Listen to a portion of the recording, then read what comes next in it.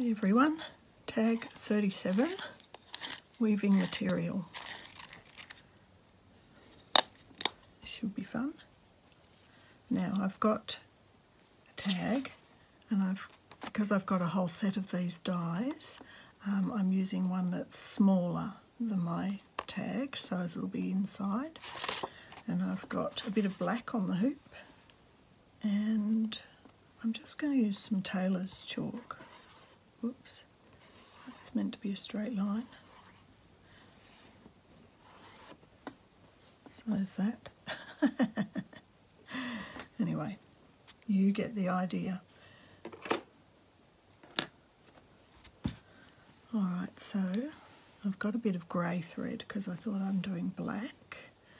I wanted a black background, so when I cut them down to that size, I can make a little, maybe a one or two mil edge like Anne was talking about. I think that's a bit, a bit wide. I thought I wouldn't mind having different sizes actually. I've noticed a lot of people have made them quite uniform on Instagram. Some are very, very nice. Some people are very creative.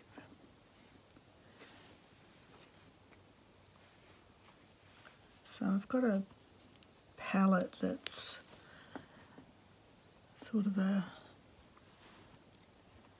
match with this. So the browns, the dots on this are matching the flowers. Um, this was off, I think this little pack was off eBay. One of those packs of matching tiny squares, different colours and shapes and patterns, but they're all in a similar colour palette. Got to get a bit of this.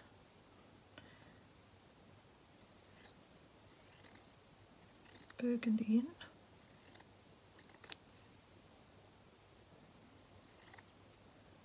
Another one to get a bit more of it in and a bit more of the brown.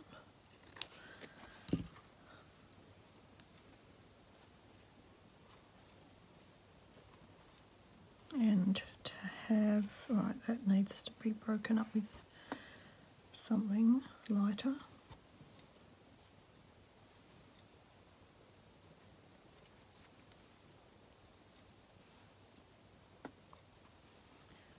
Between the two, now I also have a bit of the this beautiful soft old old pillowcase with its lovely little edge there. I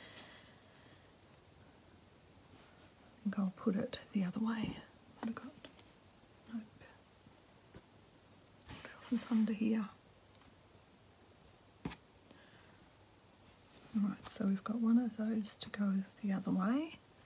Probably need, I think that's too thin. One of these.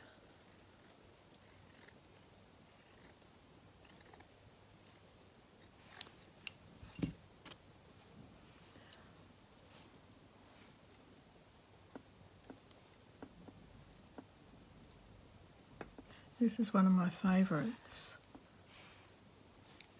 but I'm not sure if I get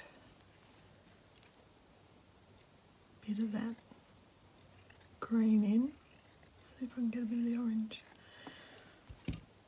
Alright, so that will work that way. They're going to go that way. That not quite long enough.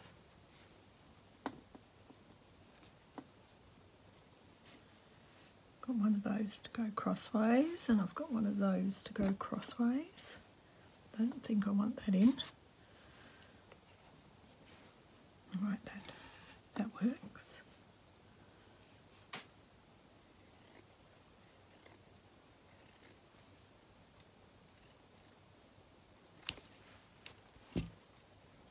Hope everyone is well. We're still in lockdown with the curfew at night.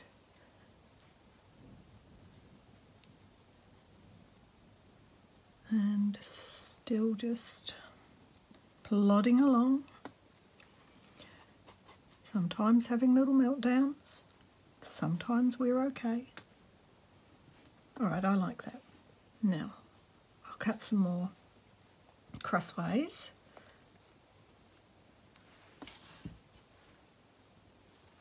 When I got this down.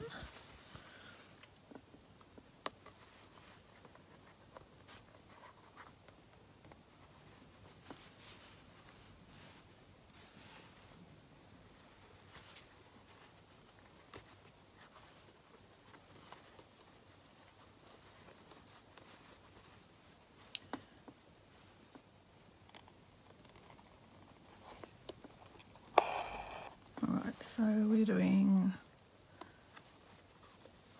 little back stitches.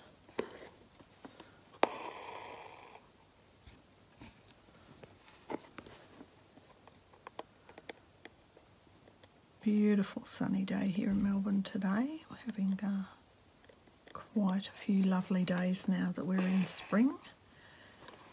Sign of things to come, which is absolutely gorgeous. Now you'll notice that this is really frayed, so I'm just going to do my best to get it down.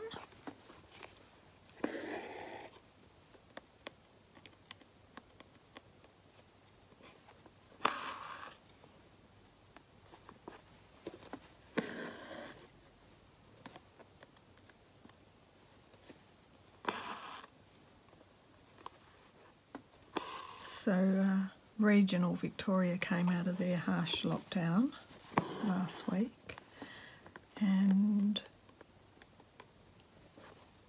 yet there are a couple more numbers. So, there's for the first time ever, there's been a couple of cases at Woodend. It's the very first time, and I did think I'd like to go out there, but now I won't.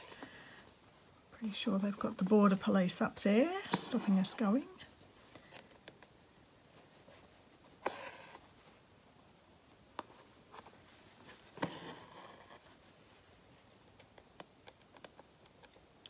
Times.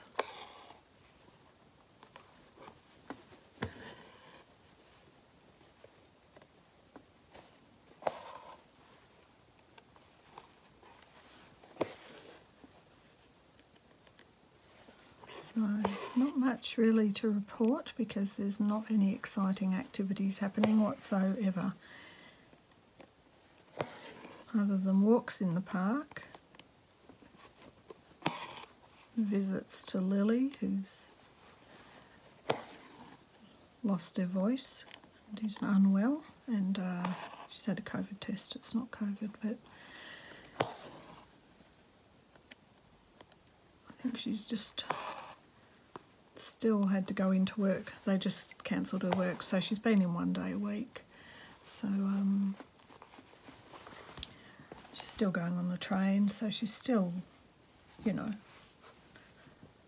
likely to catch uh, a flu or a cold or something on the train. So uh, that's what she's doing. So I'm not visiting her at the moment. Alright, here we go with the fiddly bits.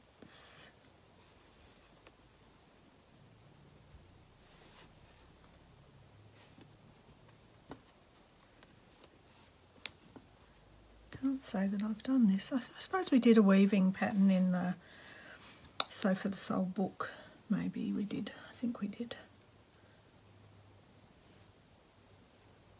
Alright, so that's up. That's up. No, that that I want the orange and the green. Let's do a bit of that. So let's see if I can keep that little bit of edge of that old pillowcase in there. I love that old pillowcase. Oh, I do love it so much. Right.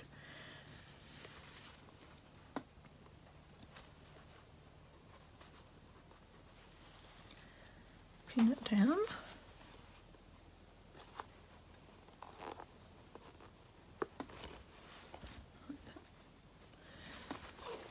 Alright, so this one is going to go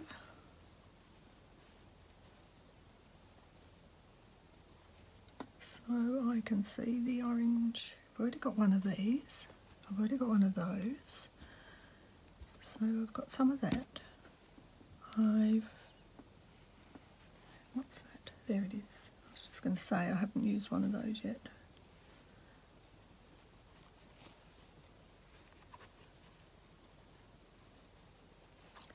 Actually, I like, oh no, that's not right. Meant to be the opposite, isn't it? There. Um, right, I I like that I've added lighter colours in here. It kind of breaks it up quite a bit, which is good.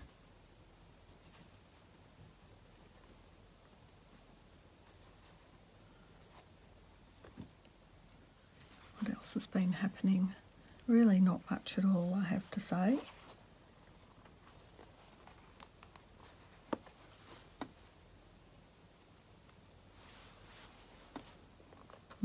Binge watch of late. well, okay, so as you know, I always have something I'm binge watching on YouTube.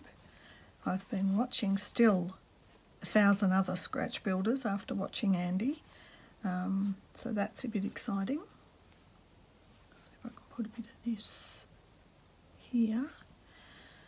And that's been fun because I've ended up totally in the world of modelling, making dungeons and forts and all kinds of things.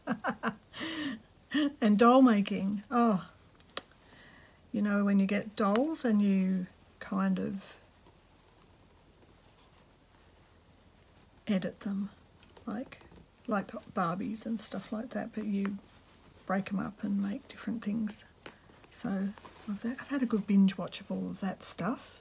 So that's good. That's given me a whole heap of uh, ideas. Right, that's worked out. Right, so now we sew down all around. But my other Netflix binge watch has been Blindspot. I might have mentioned that already, I can't remember. I feel like it's been ages since I did a video. Blindspot, which is an FBI detective show. And thank goodness they just put the entire five seasons all on Netflix so you can really get a good binge watch in. Otherwise, it's boring. Nothing worse than starting something and then it, you get up to episode three and you realise you've got to wait a week. So what did I do that with? I did that with something the other day.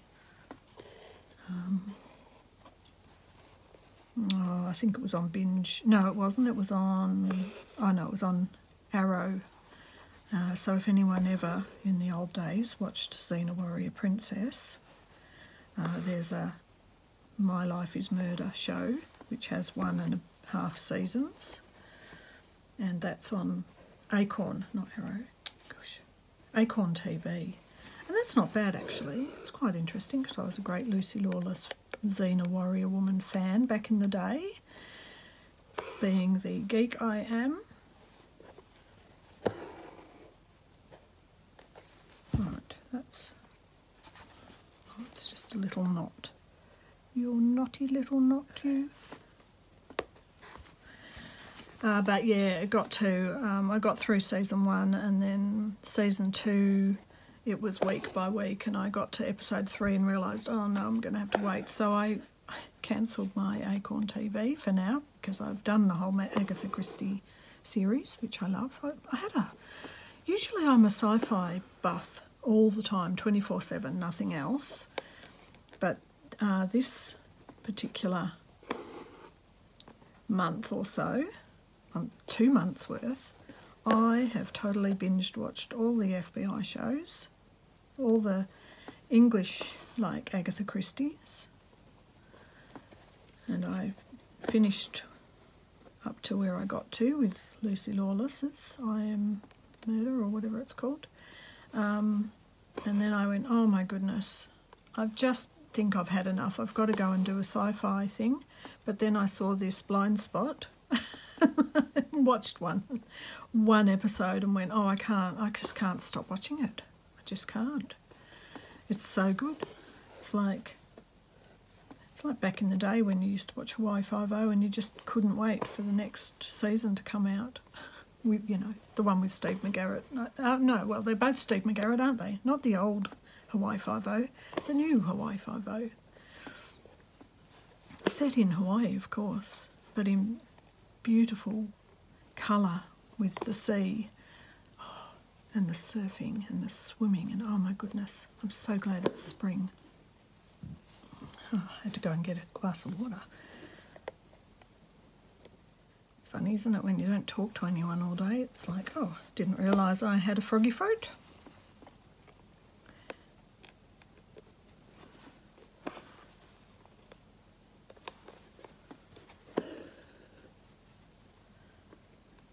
So I think I'm still on season two of Blindspot, but it has enough stuff to keep you going enough intrigue. By now, I'm thoroughly sick of the bad person, the bad lady, even if she was in Picard. And I really liked her, and I know she's she's, a great actress. You know, you know someone's a really good actor or actress when you don't like them if they're playing a bad guy. don't you? It's like, oh, they're doing a really good job of that. Uh,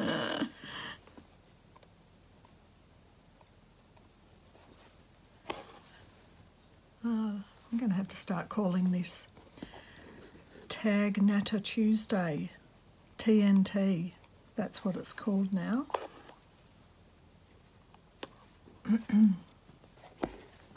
For anyone in Australia, remember the old ACDC band with their song TNT, Dynamite, Acca Dacca we used to call them.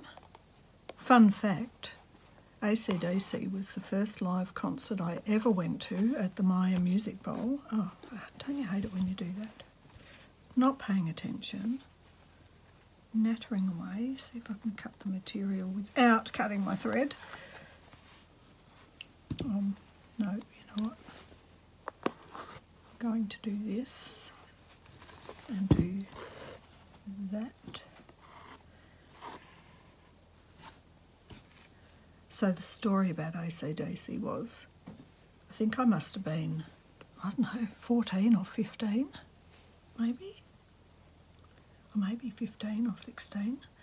It took a lot of convincing, but for some reason I'd been to a party at a friend's house uh, and my parents had let me go because they didn't know there were boys there and it was a pool party.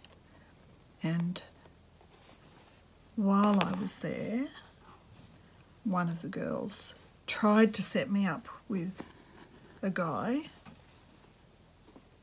who had two tickets to the ACDC concert and wanted to have someone to take, of course. Anyway, she set me up to go with him. I was a bit scared. I was pretty young. I was only, I think I was only 15. So it was a bit ludicrous to be going on a date with a guy with a car. Maybe I was 17. I don't know. I don't think I'd had a boyfriend at that stage, so it was a bit scary. And I'd understand if my parents didn't want me to go, but somehow I think we probably lied, as you do when you're that age. You want to go somewhere and do something, so you don't tell your parents the whole truth. Pay attention, Christina. Thread that. Anyway, I went with this guy, and he I think he must have taken a picnic blanket or something, and we were sitting on the picnic blanket to see this band, and I was just so terrified of him.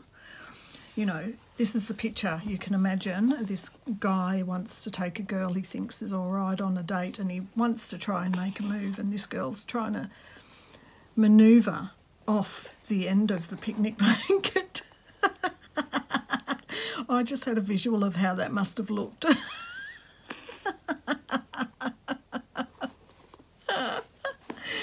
Oh dear. Yeah, there you go. Yeah.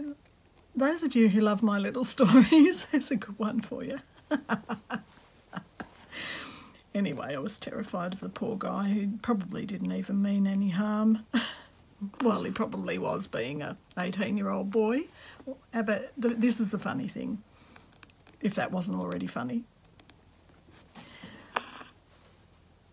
I've always been a bit of a surfy chick, bit of a hippie surfy chick. That's me, that's my style. Slightly boho, even sometimes. But uh, this guy was a rocker, a full on rocker, with his full on converted 50s car into I don't know what. And he had the hair slicked back and he had the whole full on happy days jacket and rolled up jeans and whatever the shoes were that they wore. Didn't have a hope in hell. We were just cheese and chalk. What was he thinking? I think the girl that set us up was just like, oh, he's my friend, he's lonely, she's lonely, or single. I don't know if I was lonely at that age, didn't probably care one hoot. Let's set him up. Anyway, I got, got a free concert, so that's a funny memory. That's not the whole story, though. Um, I don't think I don't think I was that when I drank some alcohol. I don't think so. I think that was another day. Um,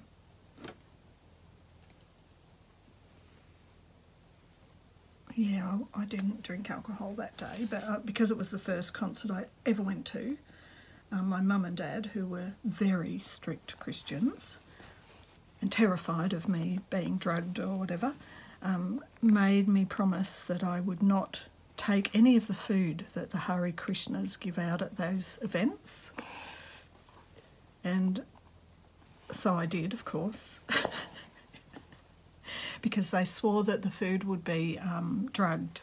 But you know what? I just thought, well, these the Hare Krishnas are actually all about living healthy, healthy living, and you know, being vegan.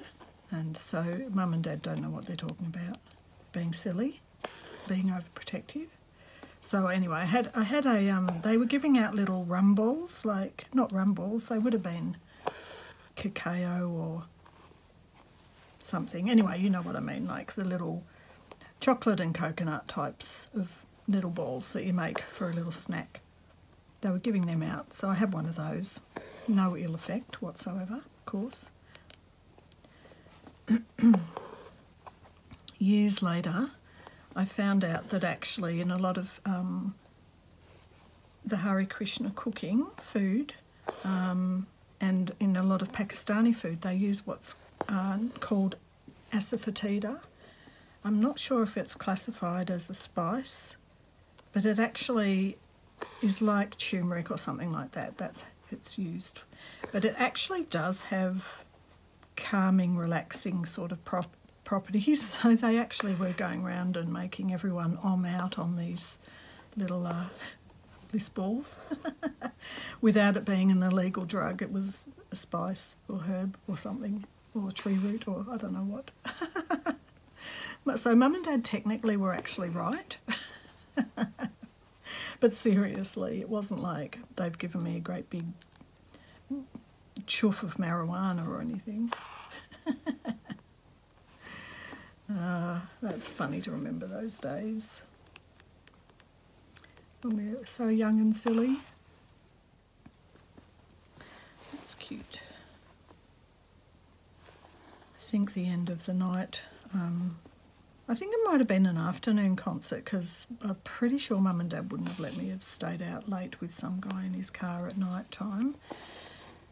So it must have been one of those afternoon. I think it was one of um, Bon Scott's.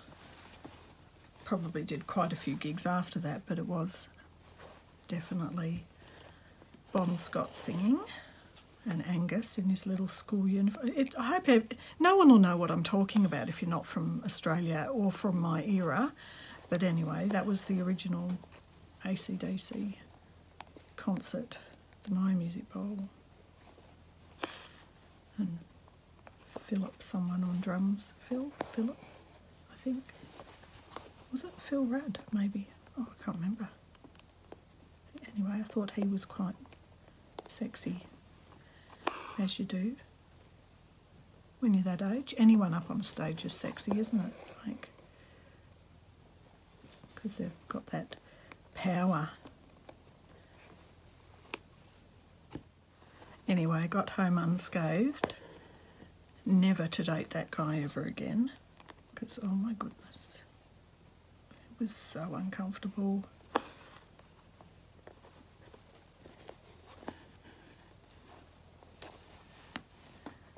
There was another time when I went to Myer Music Bowl. I think I think it was a nighttime one, and I was a bit older and I could go my own. And I went with some friends, but um, I think I drank a bit that one. I did have a few drinks, and that was one of those ones that was one of the those mixed concerts where there's a bit of everyone. And I think Sherbet was playing, Skyhooks, goodness, all that back in the day but I did have a couple of drinks and I remember I was went to the toilets which was right around the back of the stage and as I was walking back to where where we were sitting I must have been at art school because I remember I think I was with a couple of the girls from my first art school that I went to doing window dressing of all things. And I stood on the curb and my not my big toe, but my second toe is actually a bit longer than my big toe, and I caught it on the curb. I'm going off. I am going right off here. Right off over. Anyway, I caught it on the curb, and the ambulance men didn't think there was a problem. Just having a double stitch here but I swear it still hurts now today, so I reckon I broke it. The only broken bone I've ever done in my body. And I think, I, I know there's a couple of nurses that watch this, but I think, correct me if I'm wrong, but uh, you can't really put a plaster on a broken toe, you just have to leave it and let it mend itself.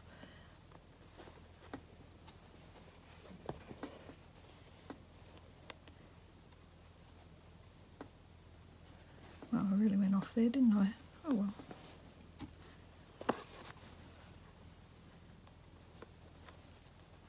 Yeah, that that was it. So I, I probably did break it, but uh, it's not much I could do about that at that time. Just had to rebel against the parental authority and give it a go, what it's like to be drinking at a concert. What a rebel.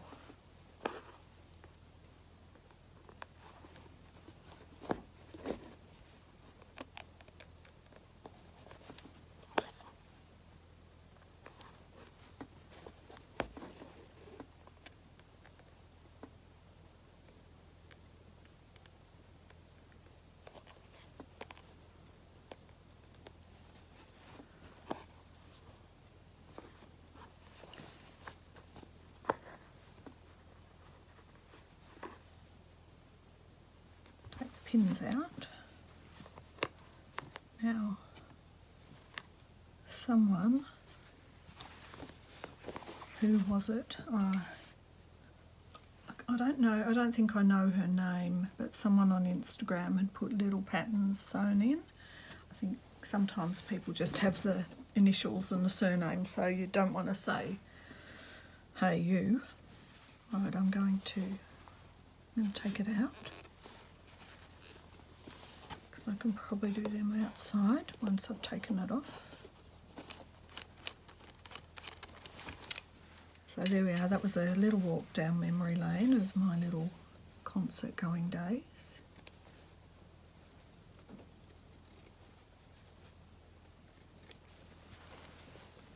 Keeping those. I can probably be a bit more careful and tuck that back under.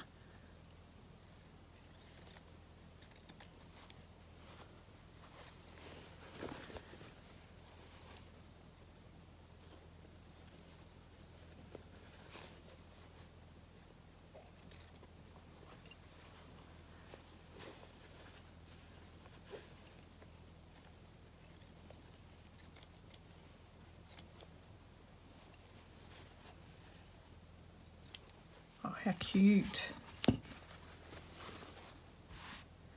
Alright, so that's made it a bit wobbly, but I still like it and I still want to do just a little border around the edge like this.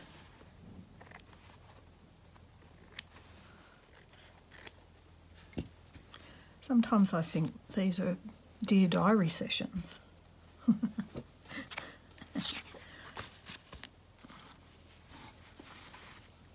I did see a sequin and I was going to put the sequin on, but uh, oh well, I think I'm just going to do a couple of little French knots or something.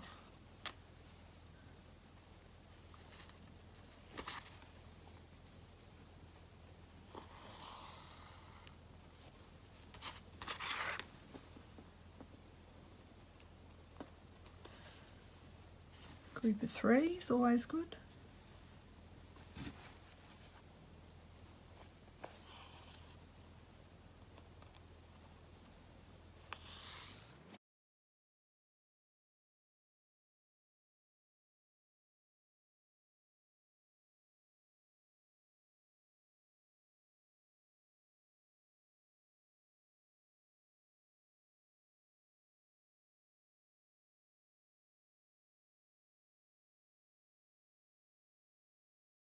There we have it.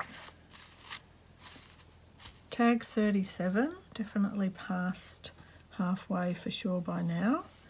And hope you enjoyed that. Thanks for watching and being here with me. Lots of love and hugs and